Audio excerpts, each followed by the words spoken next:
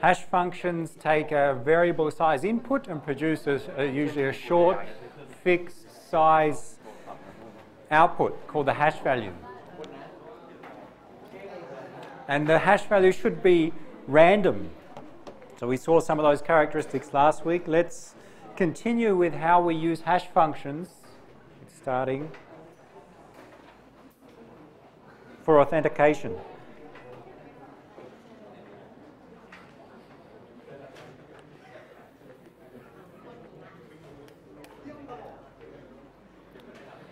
We went through an example last week, but let's go back to the first example. This is an, using hash functions combined with symmetric key encryption. And the picture will do some analysis is this one. It's the same one as on the slide. The source wants to send a secret message to the destination B and also wants that message to be authenticated. So what they do is first calculate the hash of the message, combine it with the message, that is the hash value, and then encrypt the lot, that is encrypt the message concatenated with the hash. And the destination has two tasks to do. They need to decrypt, and since they have the secret key K, they can decrypt successfully and get the message. But then they need to verify the message, and they use the hash to do that. They calculate the hash of the received message and compare it with the received hash value. If they match, it accepts them.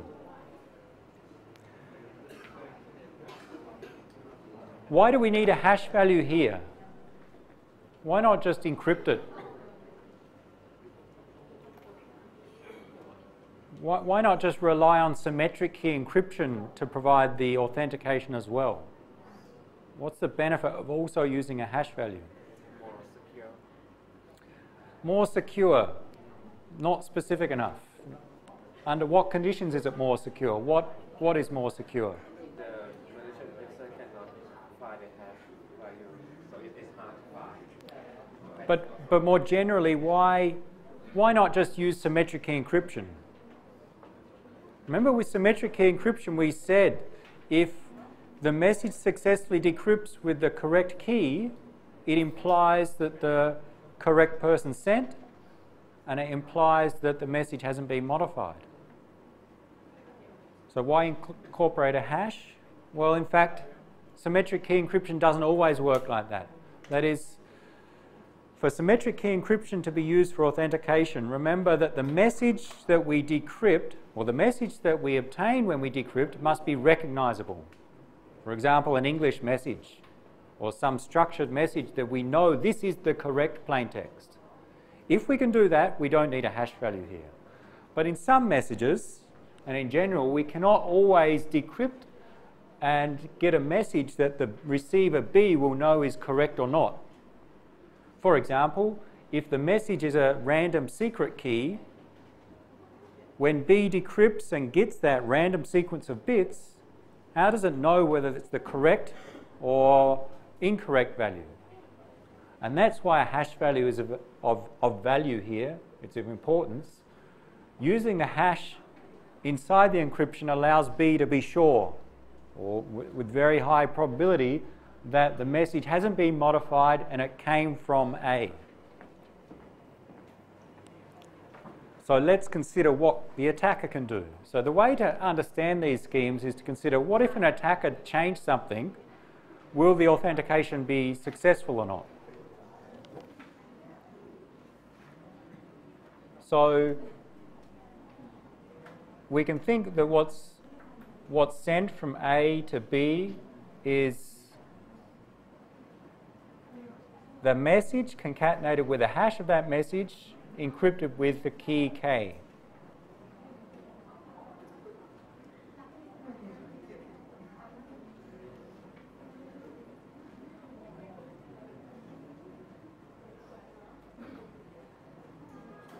just write that again and see what the malicious user can do to try and change something.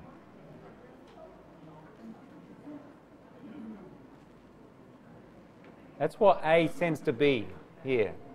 Let's say our malicious user intercepts.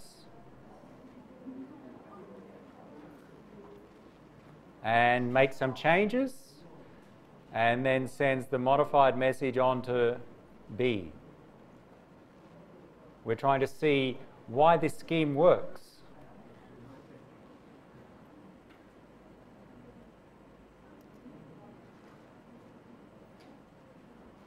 What can you do as a malicious user?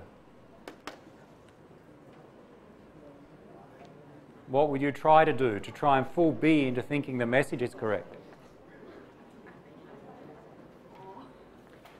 Can you see the message? Why can't you see the message? It's encrypted with the key K, and we, as the malicious user, we don't have the key K, so we, we have confidentiality in this case. So what can we do? As the malicious user, what can we try to do? All right, try to find the key. We know under our assumptions that the key is long enough, we can't find the key, so we can't do that.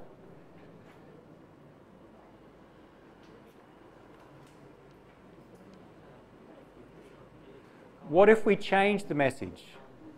So this, this is a sequence of bits. Let's say the, the length is a thousand bits and it looks random because when it's encrypted, the output of the encryption should be a random sequence of bits. Let's say the militia just sends something else, something other than the message.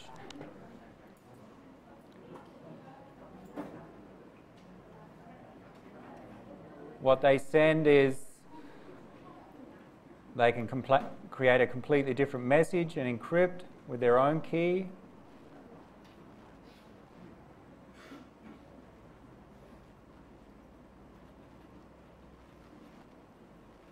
They must use a different key in this case because they don't have the key shared between A and B. And let's say they create a different message, hash uh, M prime, and calculate the hash of that message and send to B.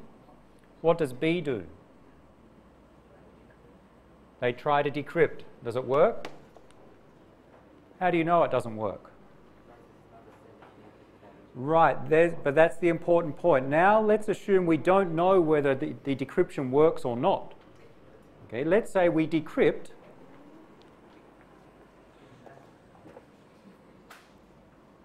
So we perform the decryption at B, and it's going to get a bit long, decrypt using K of everything that we received.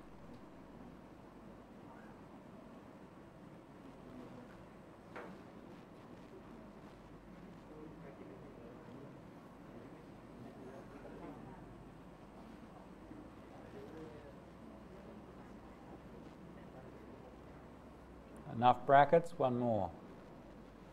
That's what B does. They decrypt first. What's the output of that decryption?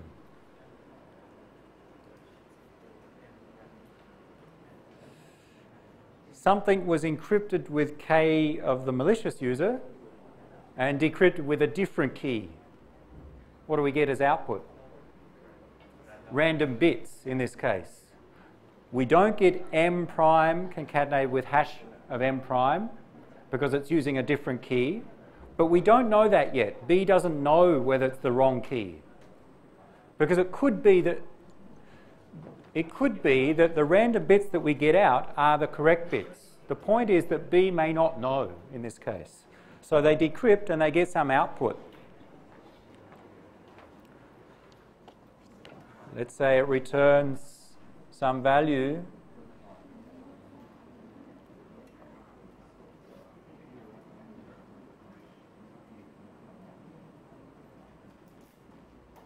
m double prime, we don't know what it is yet, concatenated with a hash value, or write as lowercase h. Let's call it triple prime.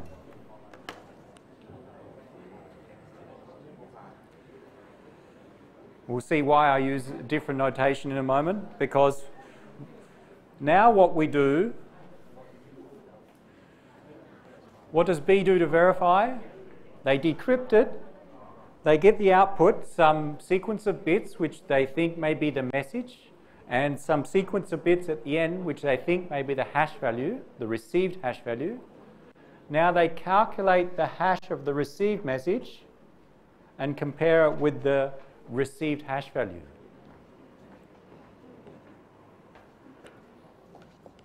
So that's what they get after decryption. And now we do the calculation. The hash of the received message, M double prime, does that equal, so we compare with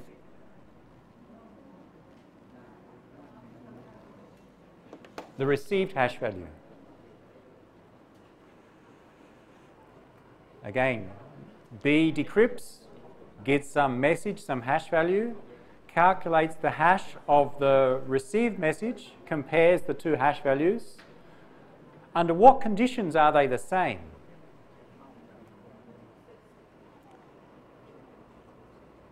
Or are they the same in this case?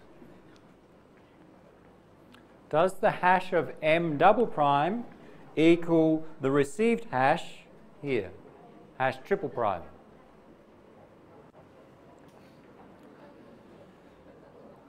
Well, it comes back to, well, what is this hash value? Hash triple prime. Well, because we decrypted with the wrong key, these bits here, m double prime, hash triple prime, are random bits. There's no relationship between them. When we decrypt with the wrong key, even though we don't yet know that, we get a random sequence of bits. So it'd be very, very unlucky if this sequence of bits here in hash triple prime turned out to be the actual hash of m double prime. So they shouldn't be the same. That is, when we compare them, they will not be the same. This will not be the hash value of the message because the message is random and the hash value is random. It wasn't calculated. So they will not be the same.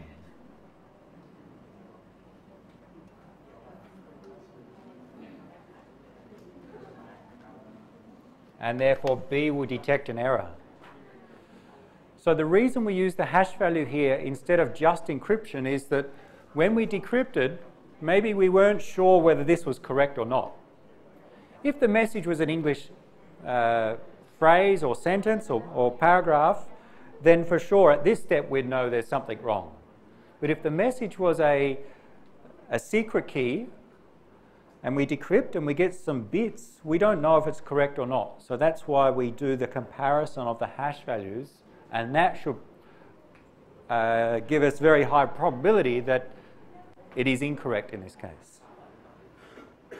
And we'll look at those probabilities later when we look at the analysis of cryptographic hash functions. So we can use hash values with secret key encryption.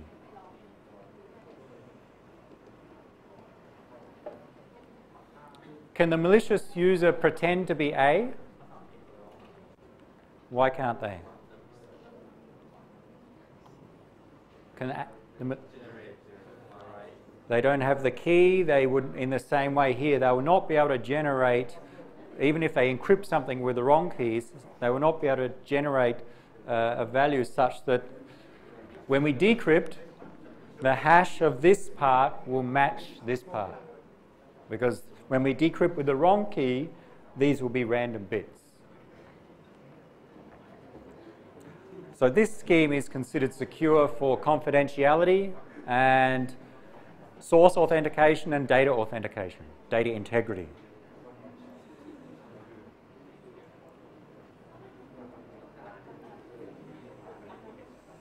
Any questions before we move on to scheme two, the next scheme?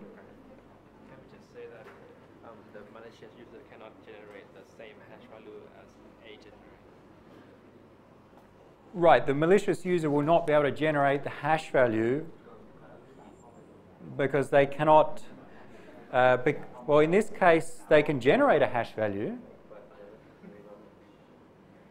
They don't know the message so they cannot generate the same message because that's encrypted. So all they can try to do is generate some, say, say new message and they can calculate the hash of that. But once that's decrypted, we won't get the original input when we decrypt. We'll get some other random values. And because they're random, the hash of the message part will not match the received hash value. So in this case, it's because of the decryption doesn't work. And the hash value is just a confirmation that the decryption does not work.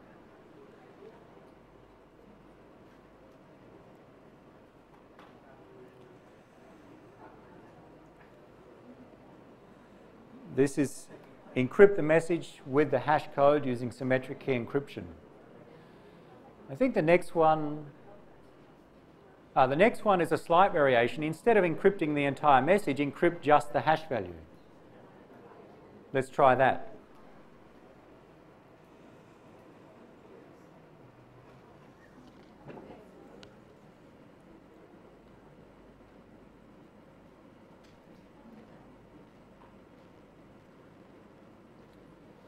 Here we take the message, calculate the hash of the message, encrypt that with a shared secret key between A and B, send the message plus the encrypted hash to B, and B verifies.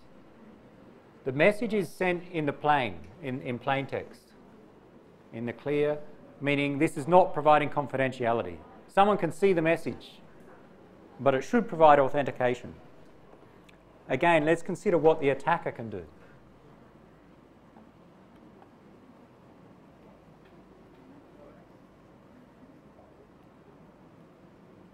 What does A send? They send, we can denote it as M concatenated with encrypt secret key K, and let's be more specific, KAB of hash of M. Although our picture here doesn't say KAB, we know it's shared between A and B.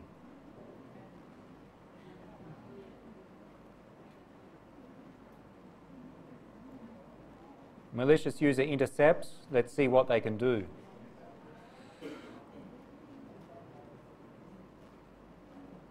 And try and send it to B.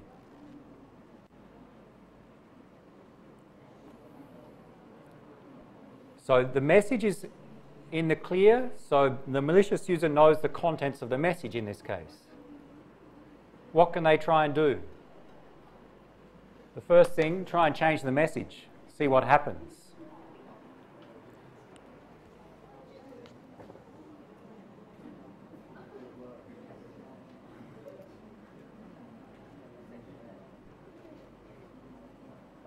Let's say we change it to m prime, but we keep the, the, the encrypted hash value the same. We don't change those bits.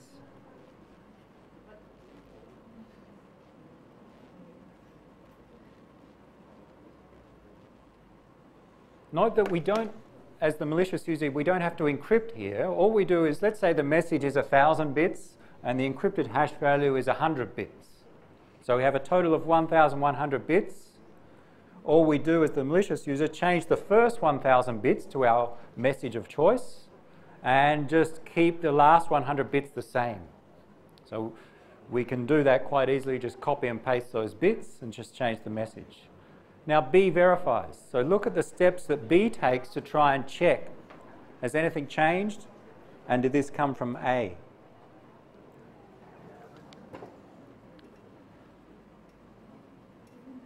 B decrypts the hash value.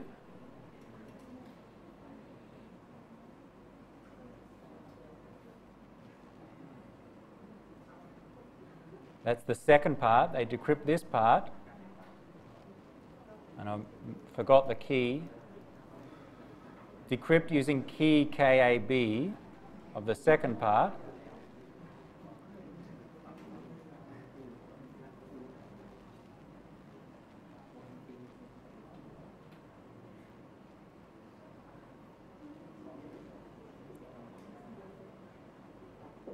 What comes out?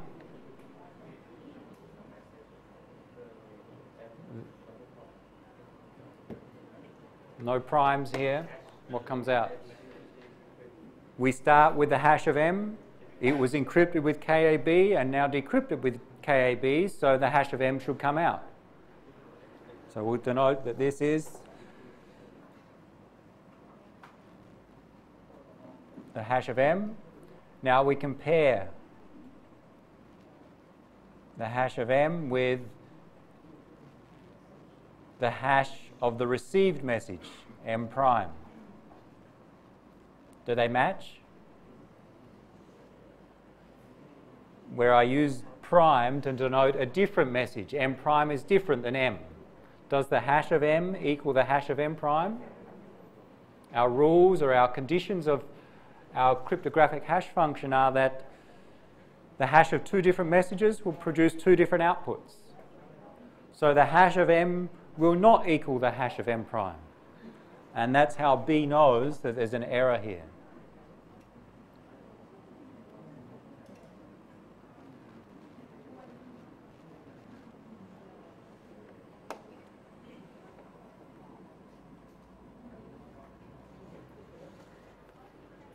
Any questions so far on our use of an encrypted hash value as opposed to the entire message being encrypted?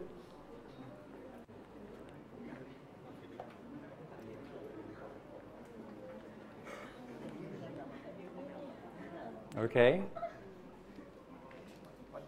Sure. All right. Any questions at the back?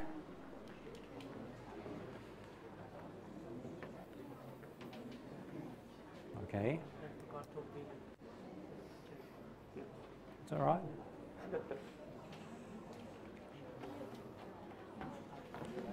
So the point in this case is our error will be detected by B because of the properties of the hash function. The hash of two different messages gives two different outputs. So when the message was modified by the malicious user, but not the encrypted hash value, when we verify at B, we compare the hash of the original message with the hash of the modified message, two different messages, two different hash values, so they're not equal, and B recognizes there's an error. What could our malicious user, user try instead? Can they try something else to try and fool B into thinking that the message received is, is correct?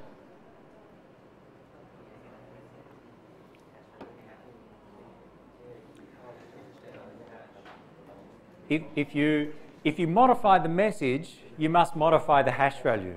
Okay? Otherwise, B is going to easily detect. So there's an important point. If, if the malicious user changes the message, under most conditions, they must also then change the hash value.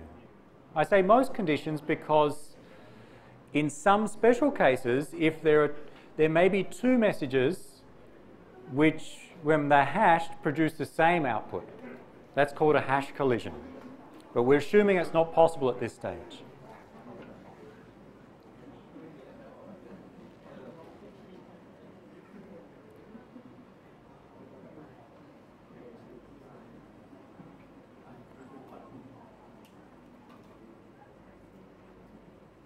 How can they change the hash value?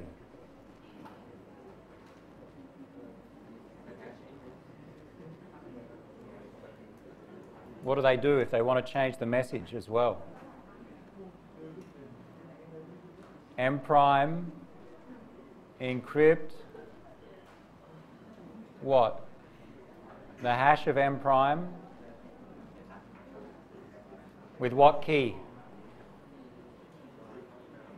We can't use KAB, that's the point.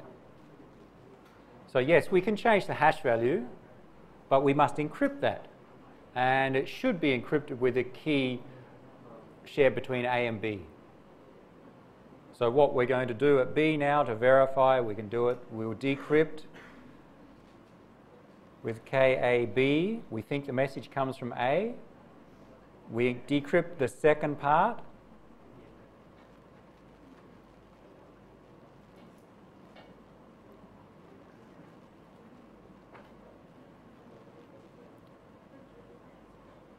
and we get some output. Let's denote it as uh, H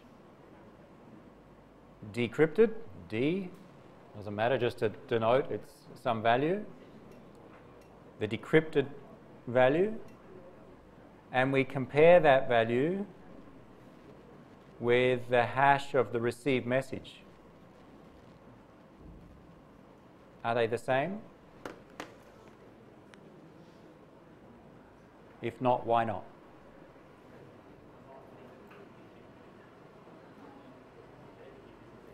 Here in the encryption and decryption process, we have the hash of the message, the, mo the modified message in this case. It was encrypted with the key of the malicious user, but we decrypted that using the key shared between A and B. So we'll get a different output. We will not get hash of M prime as output. If we encrypt the hash of M prime with one key and decrypt it with another key, the original plain text will not come out. If we encrypt and decrypt with the correct key, the original plain text will come out, but if it's the incorrect key, we'll get a different output. So the output, HD in this case, will not be the same as H, the hash of M prime. So again, B will detect that.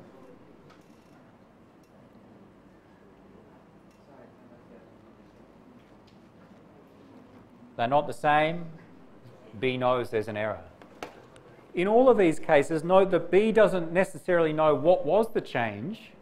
They don't know whether the malicious user changed the message or changed both the message and the hash value, used a different key. All they know that it, something went wrong. But that's sufficient for authentication because B now says, don't trust this message. It's not authentic.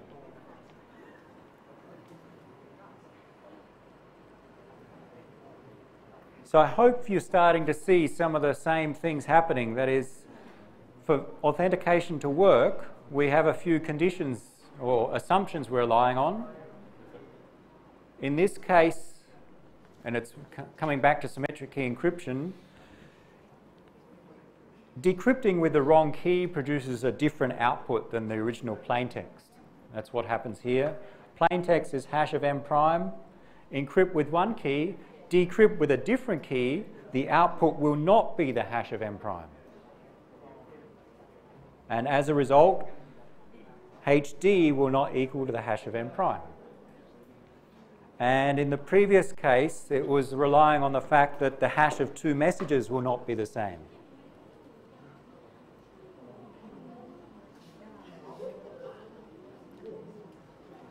Hash two different messages, you will not get the same hash value as output.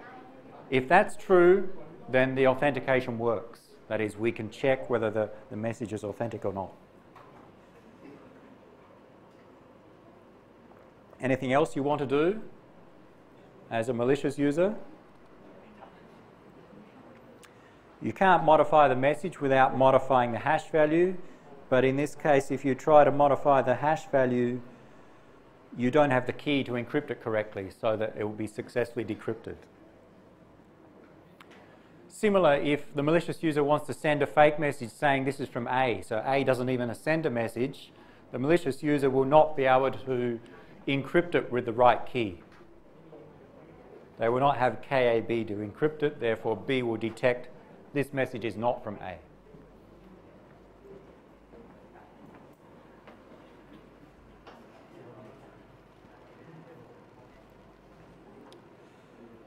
Compare these schemes A and B. They both provide authentication. The first one also provides confidentiality. The message was encrypted. Scheme B does not provide confidentiality of the message. Scheme B can be useful when we don't care about confidentiality of the message. We care just about authentication. Not encrypting the entire message can be much faster than just encrypting the hash value. If your message is one gigabyte, then in the previous scheme, encrypting that one gigabyte takes some time. In this case, we just calculate the hash of that one gigabyte and encrypt that small hash value, say uh, 256 bits, which is much, much faster than encrypting a, a gigabyte. So avoiding encryption of large inputs where possible saves in performance.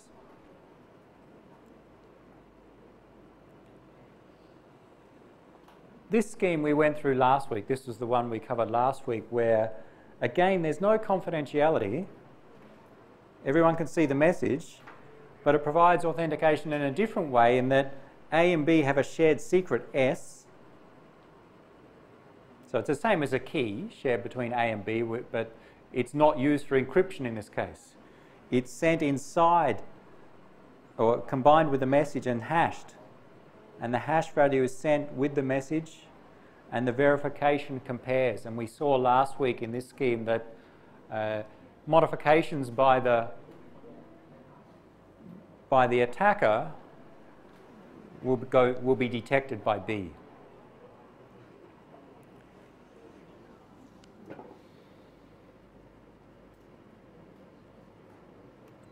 the fourth scheme combines the third one with encryption, so we do have confidentiality of the message. So it's essentially the, name, the same as the previous one. Take a secret S, combine it with a message, hash, but then encrypt all of that with a shared secret key, a different key in this case, so that the entire message is secret. So just different ways to provide both authentication and confidentiality.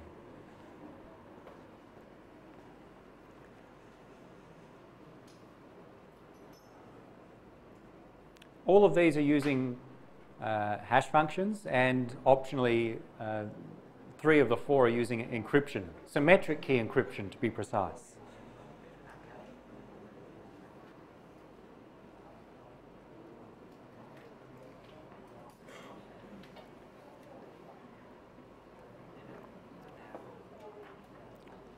So we've, we've said multiple times now, using just symmetric key encryption without hash functions or even without message authentication codes may provide authentication.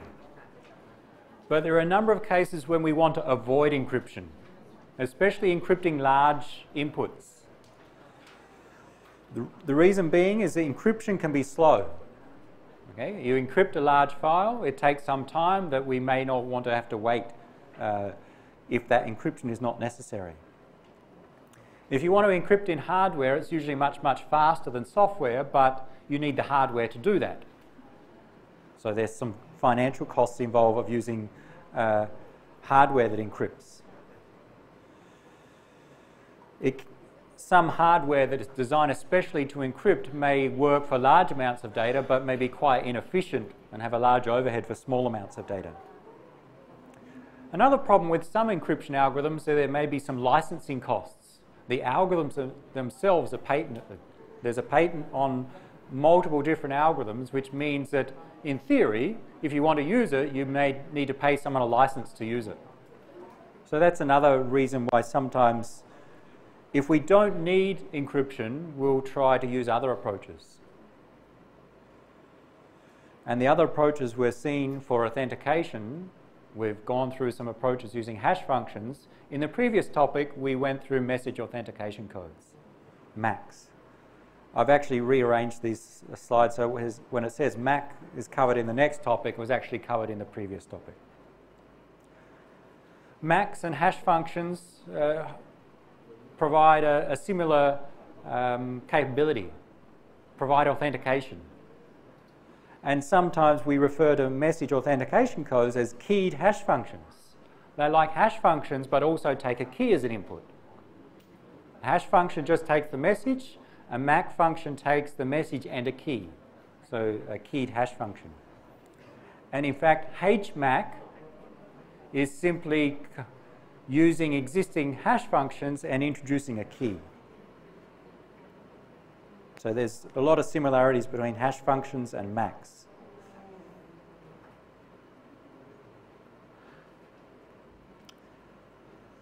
The authentication techniques we've seen with hash functions all use symmetric key cryptography so far. Let's look at using public key cryptography. And we'll arrive at what we call digital signatures, which are commonly used nowadays for authentication.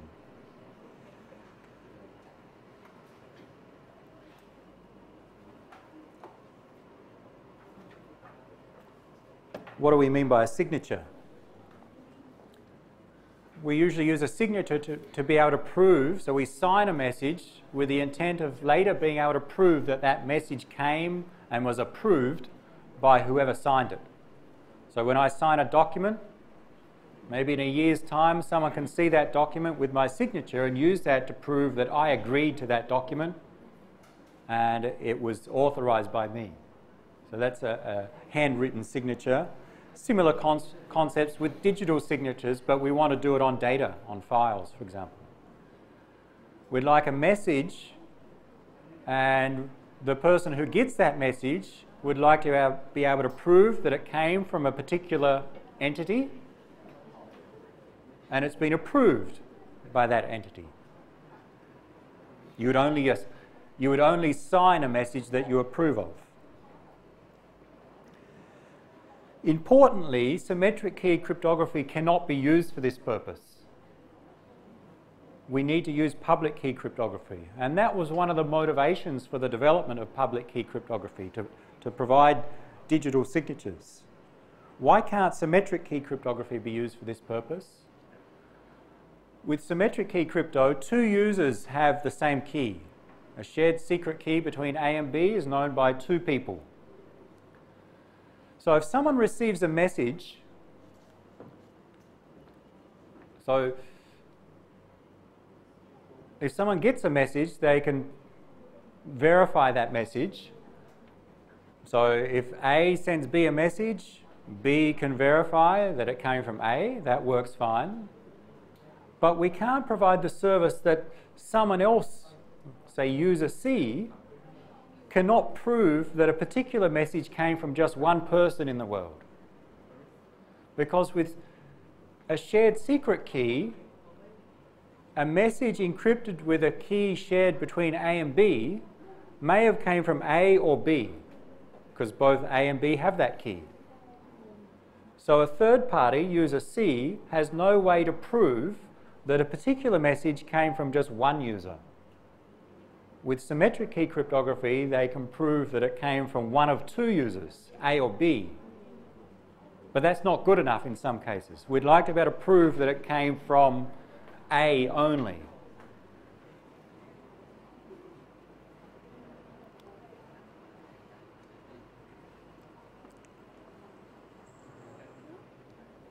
For example, if a encrypts a message with a key shared between itself and B and sends that message to B. B can decrypt, and B knows that it came from A. B knows it didn't send it itself. Therefore, the only other person in the world that could have created this message is A. But B cannot prove to someone else, such as user C, that that message came from A. Because that message could have come from B. B could be faking and saying, ah, A sent me this message, but in fact, it was B that created it.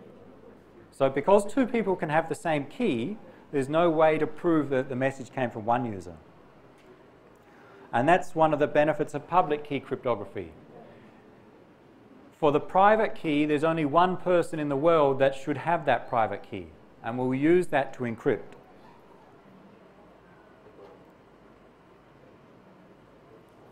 Let's look at the concept of signing or digital signatures.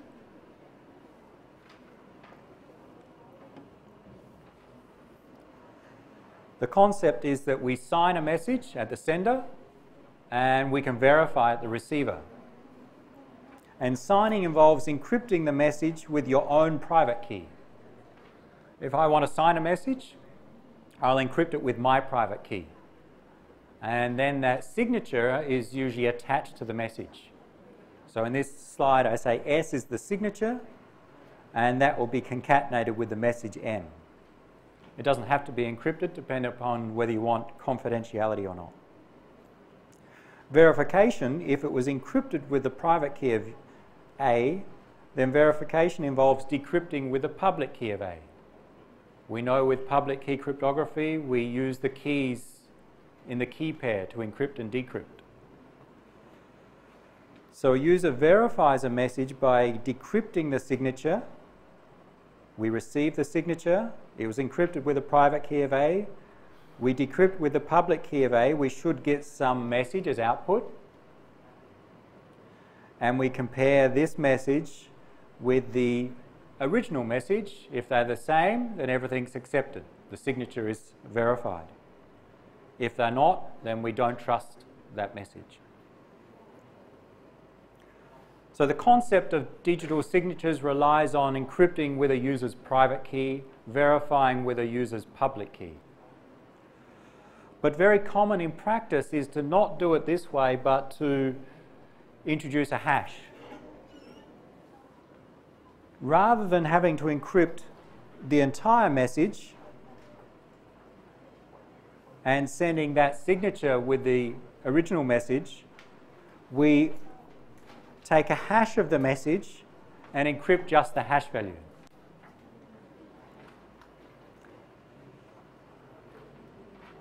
And when we verify, again, we decrypt with the public key of the sender.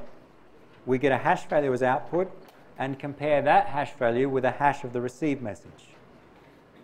So the concept relies on public key cryptography, but in practice we incorporate also hash functions to make the, the performance uh, much better.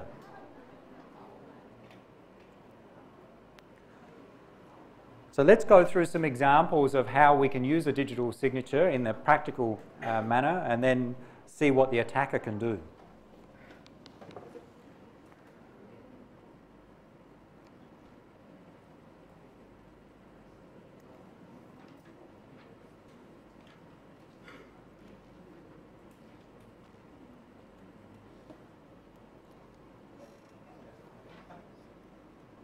We have user A. B.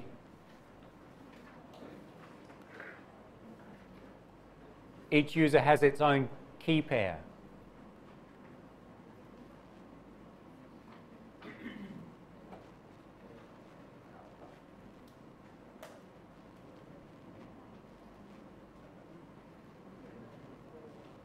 In addition, we assume users know other users' public keys. So what's known by A also includes the public key of B, and B knows the public key of A, and other users if we need. And the malicious user, we'll see in a moment, should know the public key of both A and B. They know the public values. So let's say A wants to send a message to B and wants to sign that message. So let's see the steps that they'll do.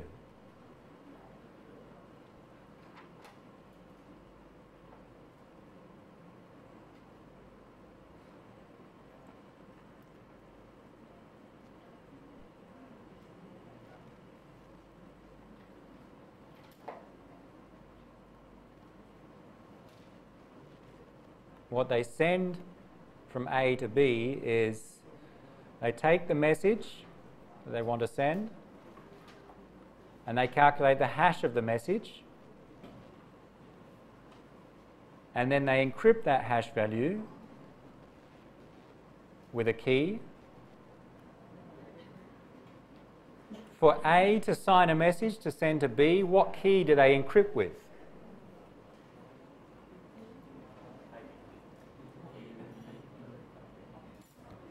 What key, so some people are saying the correct thing, what key do they encrypt with?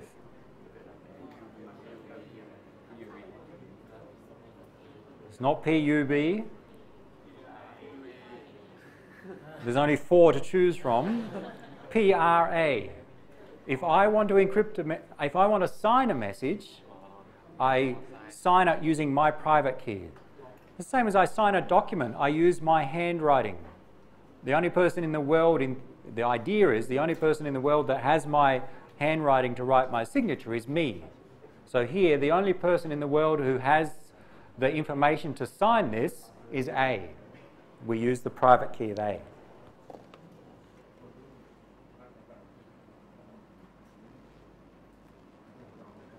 So that's the signature component.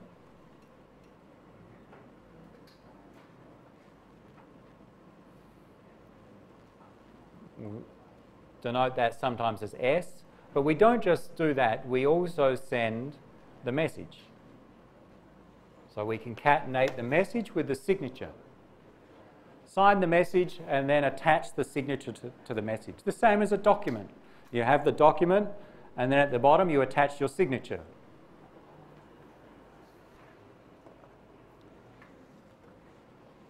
B receives this, in this case the normal case with uh, no attacker. They verify. What they do to verify is they take the signature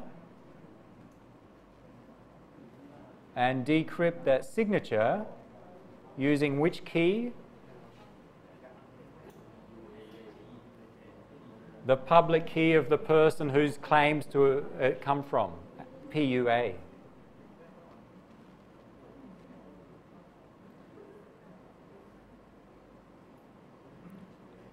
And what do they get as output?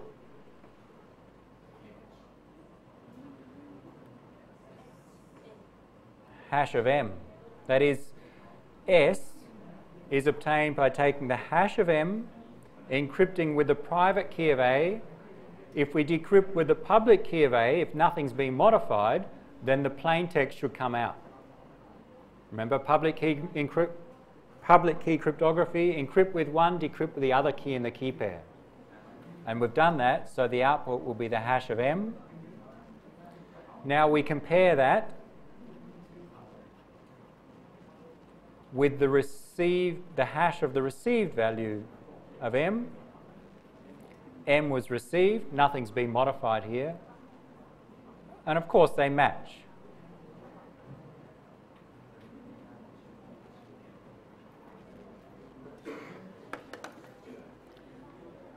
That is, when we decrypt the signature, we get the hash of the original message. And when we take the hash of the received message, if nothing's been modified, those two hash values will be the same because the, hash of the two inputs produces the same hash value. And that shows B that this message is okay.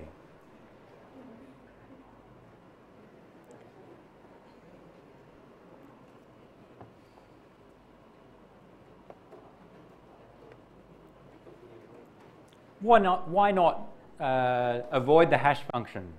What happens if we just use the, the entire message instead of the hash function in signing? Here. If we have message encrypted with the private key of A, we get the same effect, but there's a significant performance degradation here. Let's say the message is one gigabyte. If we encrypt if we take the hash of that message, that one gigabyte message, we get a small fixed length hash value as output. And for example, a SHA-256 hash algorithm produces 256 bits as output. So if we use a hash function that produces a 256-bit hash value, the signature is just the encryption of that 256-bit value. Quite fast to encrypt small uh, inputs and only a small amount to send across the network. If we didn't have the hash function, we'd A, need to encrypt the entire message, one gigabyte. That takes a lot more time. And B, we need to send the message plus, well, we don't need to, but in this case, we'd send the message plus the entire message encrypted again, a large overhead. We could get away with that case, but encrypting a large value is much, much slower than encrypting a small value especially with public key cryptography. So using the hash is a significant benefit here.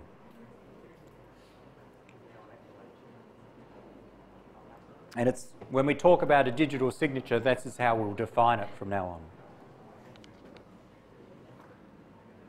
Let's consider what an attacker can do to try and change things.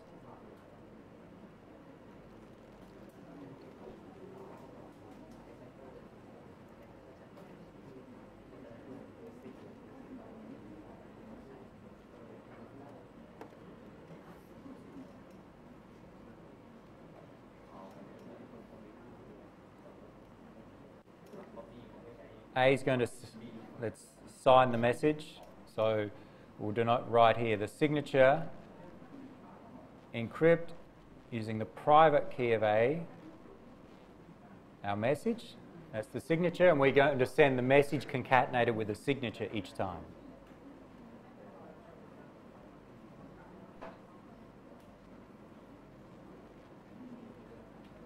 And the malicious user is going to intercept And we're going to modify something and send it on to B with the intent of fooling B into accepting the message. And what's sent by A is the message concatenated with the signature. What can you do? Malicious user receives, intercepts. Again, let's try and modify some things. Let's first modify just the message. We'll go through all the cases. The malicious user modifies the message to be M prime. They don't change the signature. Again, let's say the message is one megabyte, the signature is a thousand bits. All the malicious user does is changes the first one megabyte. The last 1000 bits are just copied from the original message. So they don't change the signature. Send on to B. What does B do?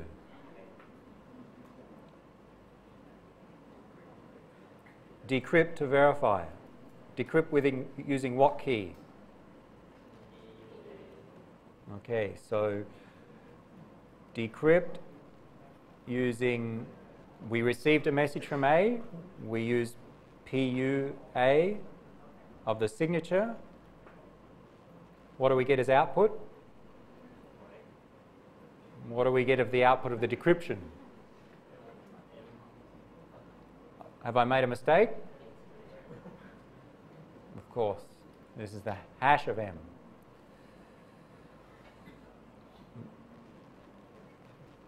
You'll fix yours better than mine.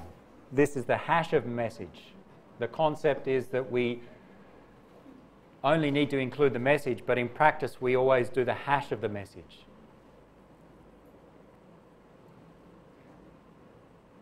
So the output the input was the hash of the message, encrypted with the private key of A, decrypted with, the public key of A, hash of M.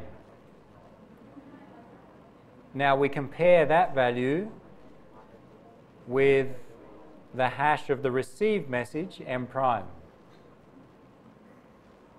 Do they match? Since m prime is not the same as m, our properties of the hash function mean that the hash of two different messages produces two different outputs. So we get an error here. They're not the same. Yep.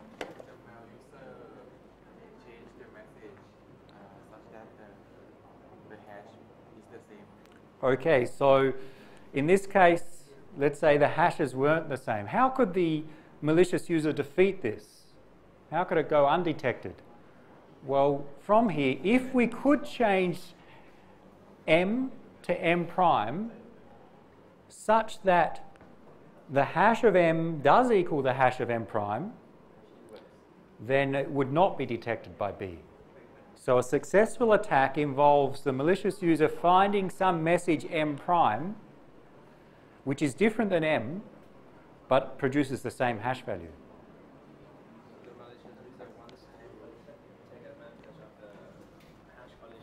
A hash collision, correct. So if we can find a hash collision, this scheme fails. We'll note that because that, that's an important, that leads to that requirement that we should be hard for someone to find hash collisions. So you're right in that, and we'll see the requirements stated later, but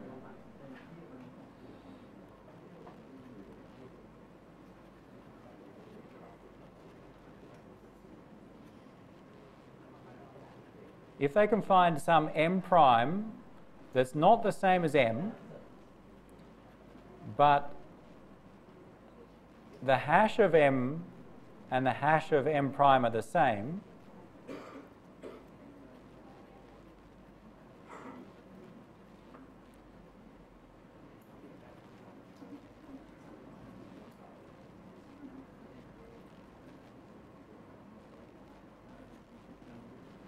then they are ineffective. That is, if the malicious user could find this M prime where the hash values are the same, then this digital signature scheme would not work. it would fail in that B would receive a message, think it's okay, think it hasn't been modified and it comes from A, but in fact it's been modified. So yes, that's the problem or the security of this scheme will depend upon how hard it is to find hash collisions. And it turns out for most uh, secure hash algorithms, the difficulty of finding hash collisions depends upon the, the length of the hash. So you need a hash value long enough such that it will take too much time to find a collision. Hence, SHA-256, SHA-512, the, the hash length are 256 bits, 512 bits. They are considered secure in that it takes too long for an attacker to find the collision in this case. So the only way to attack the hash function is to find the, the hash collision. There's two, two ways to attack here. Brute force attack is on the hash collision, or find a weakness in the algorithm. MD5 is considered weak. Okay, so if you use MD5 here, like we saw in the previous lecture, we saw that you can have collisions. So people have found collisions. But if you've got a strong algorithm, then make the hash value large enough and a brute force will not be uh, possible.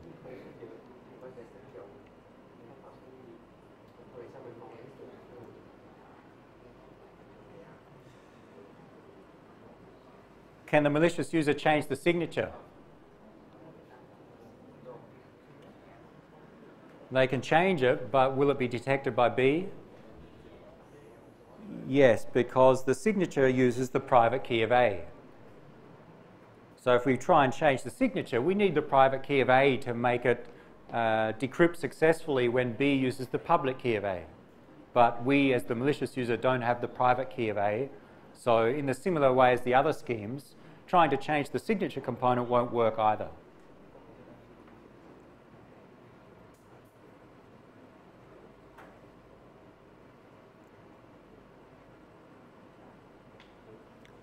Let's check that.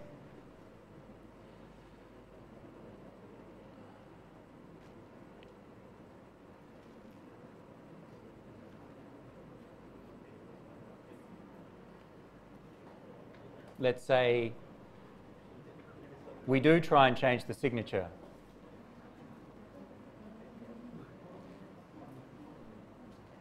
S prime is calculated as encrypt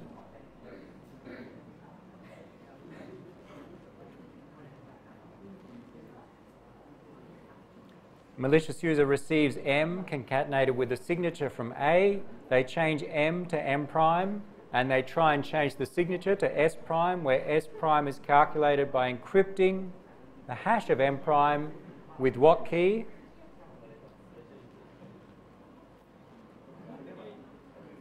PRA. The point is that we don't have PRA. We'd like to use PRA, but it's private only for A. So it needs to be some other value.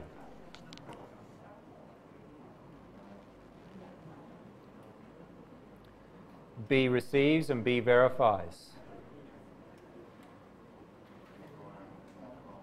Decrypt with the public key of A, S, which is really the same as decrypting with the public key of A. What is S?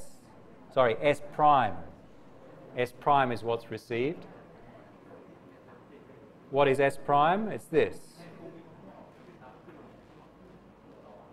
Private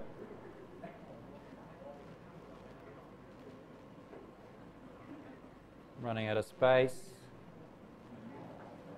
And I think there's one more bracket there. The point is, B to verify takes the received signature, decrypts with the public key of A, what was the received signature? It was the hash of M prime encrypted with the private key of the malicious user, or at least some, some value which is not the private key of A. What's the output of this? Or maybe easier, what is not the output? What is it not equal to?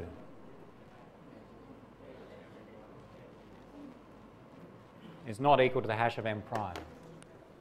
We start with the hash of m prime. It was encrypted with the private key of the malicious user. That was decrypted with a wrong public key. Therefore, we will not get the plain text as output. So we don't get the hash of m prime as output. So then when we compare it with the hash of m prime, they will not match and B's detected the modification.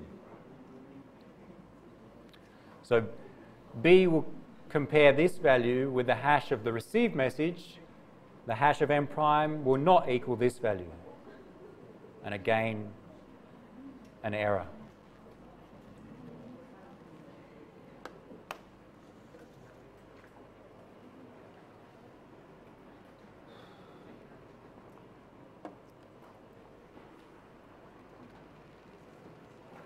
Can someone create a message pretending to be A?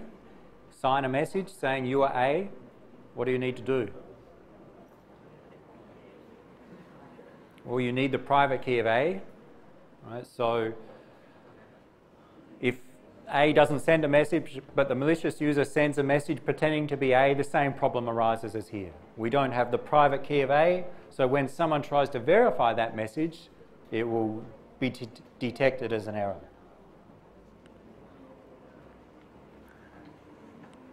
So to, to defeat digital signatures, the malicious user, if they can find hash collisions, then they can defeat it.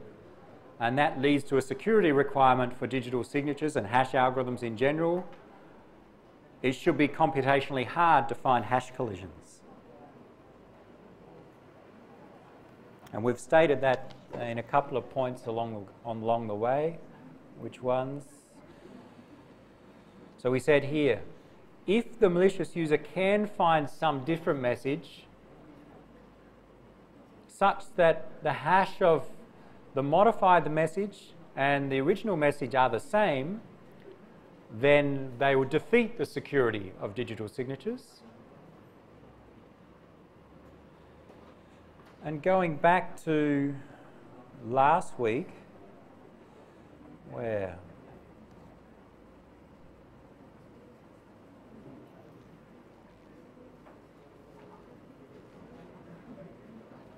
jump back to what we had last week. Did you not see that?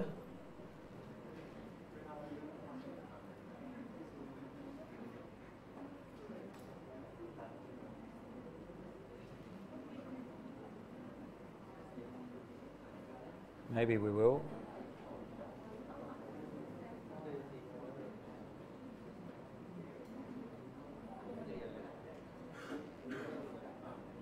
No, I can't find last week's.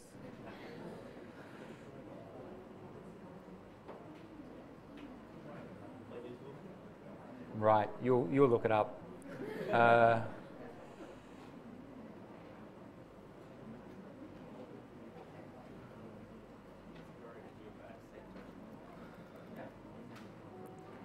Let, let's go to the slides, that'll be easier.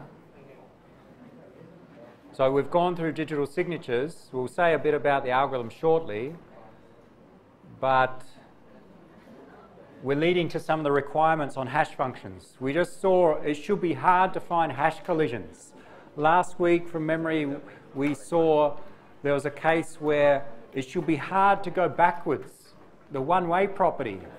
Given the hash value, it should be hard to find the original message. That was used in scheme B of the authentication where we hash the message and the secret. So we've seen two requirements on hash functions, hard to find collisions and hard to go backwards. And that leads to the one-way property and collision-free properties. We'll introduce them today and then look at the algorithms and finish.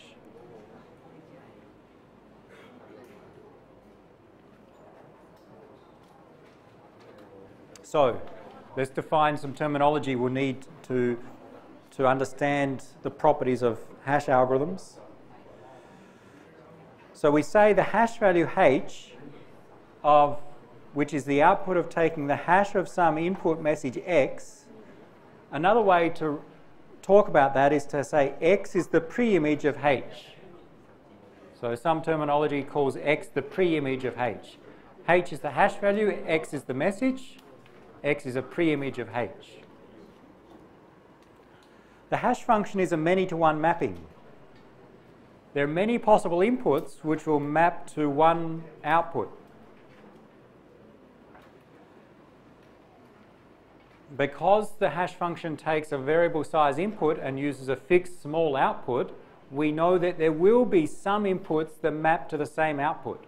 There must be. That is, there must be, with our hash function, it must be such that h, some hash value h, has multiple preimages. Another way to think of that, multiple messages will map to the same hash value. We will have collisions.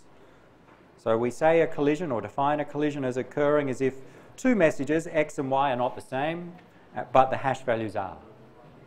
That is, the hash of two different messages produces the same hash value. We call that a hash collision, or simply a collision.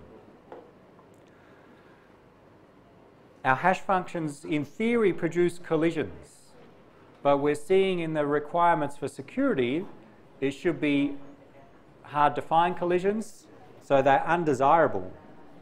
In theory, collisions happen. In practice, it should be hard for someone to find collisions. So there's a difference there.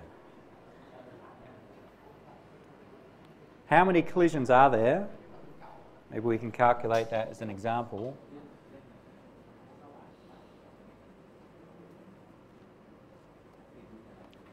For example, we have a, a message. I think we may have done this with a, a, a thousand bit input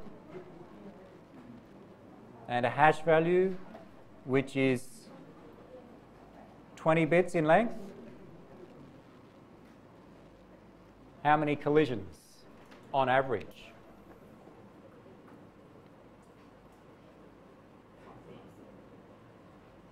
So we need to think of how many possible messages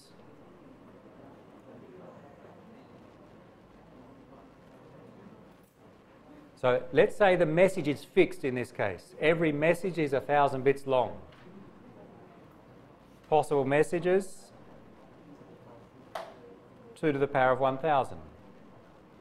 With a thousand bit message, 2 to the power of 1000. And possible hash values,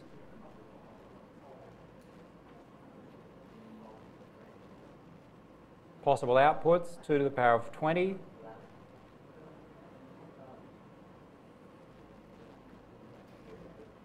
Note that the hash function should produce random outputs. So we talk about, on average, how many messages map to the same hash value.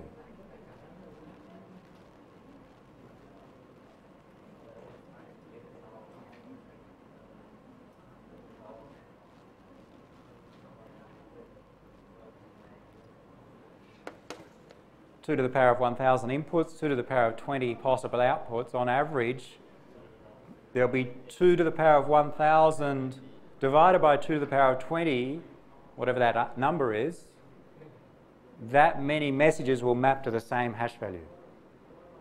That's many collisions will occur on that hash value. So there will be collisions. And remember, messages are normally variable size input. So a message may be a gigabytes. Hash values are usually short, say 256 bits.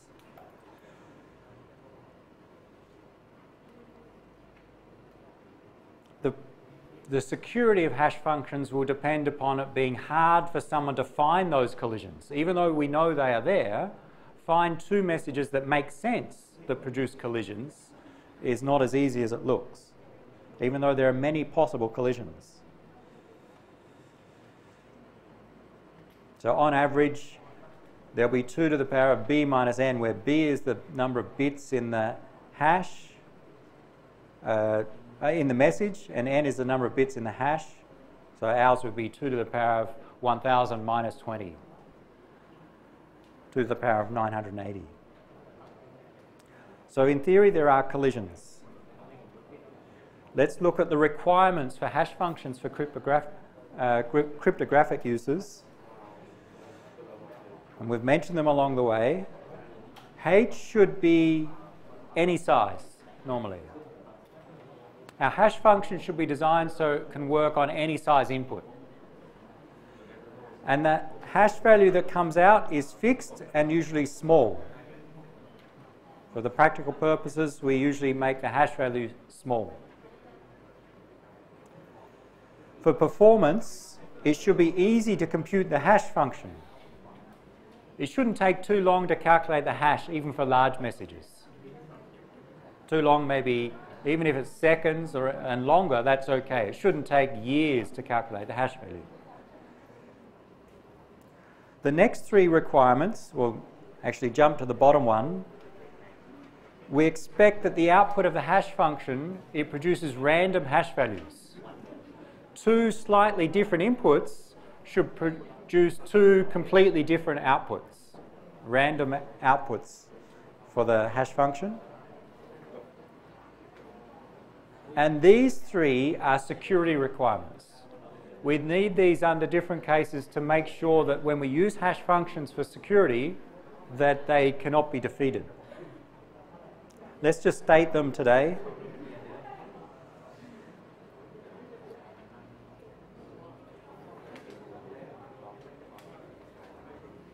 Any questions before we finish up? Still, still dreaming of using Windows and ipconfig? Any?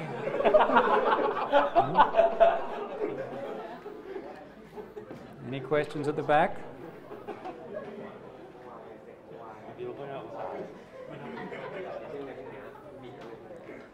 Let's look at these three security requirements to finish today, and we'll analyze them uh, on Friday. First, the one-way property. We need it such that if we know the hash value h, it should be computationally infeasible to find the input y. That is, it's easy to calculate the hash of y to find lowercase h, but it's hard to take the hash value and get the original message. That is, the, the hash function is easy in one way, but hard or basically impossible in the opposite way. This is called the one-way property, or sometimes called pre-image resistant. We'll talk about the meaning of these definitions uh, uh, later, but we've said that so far we've called it the one-way property. Another property we need for security purposes if we're given some message x, it should be hard to be able to find some other message y such that the hash of y equals the hash of x.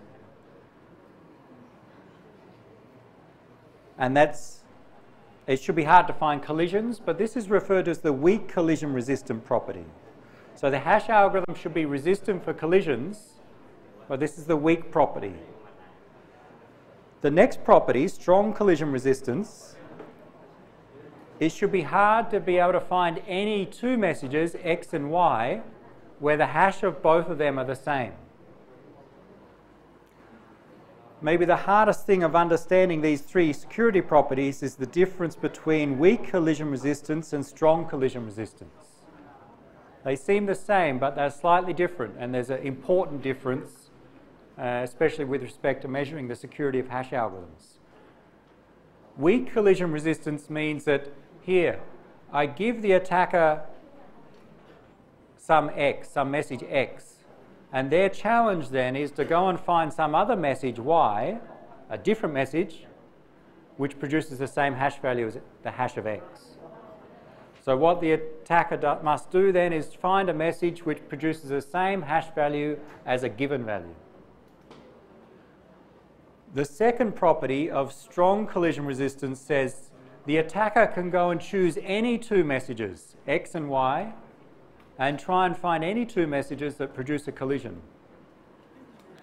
If you're an attacker, which one's easier for you?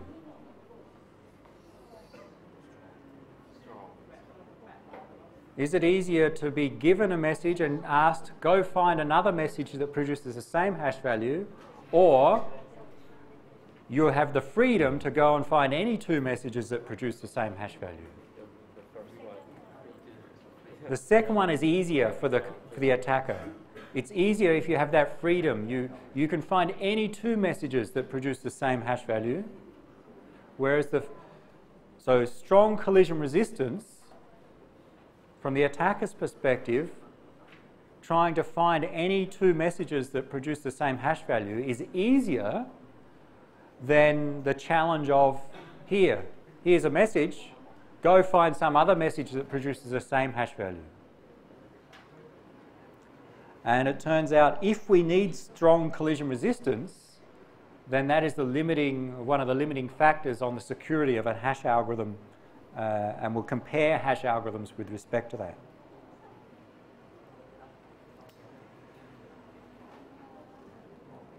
What have we missed?